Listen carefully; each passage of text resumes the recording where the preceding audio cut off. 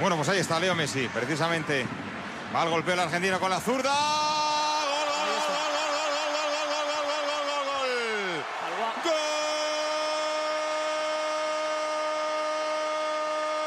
¡Golazo de Messi!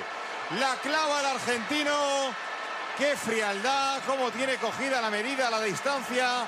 El golpeo, pierna izquierda de Leo Messi directamente ahí ajustado al otro palo. Voló Viviano, no llegó el portero de la Sampdoria, se estiró todo lo que pudo, pero el gol es un golazo de Leo Messi que pone al Barça con distancia de dos goles. Barça 3, Sampdoria 1, Leo Messi. Tengo la sensación de que la barrera eh, beneficiaba sin duda a Messi, estaba orientada para un zurdo. Es muy complicado situar una barrera cuando el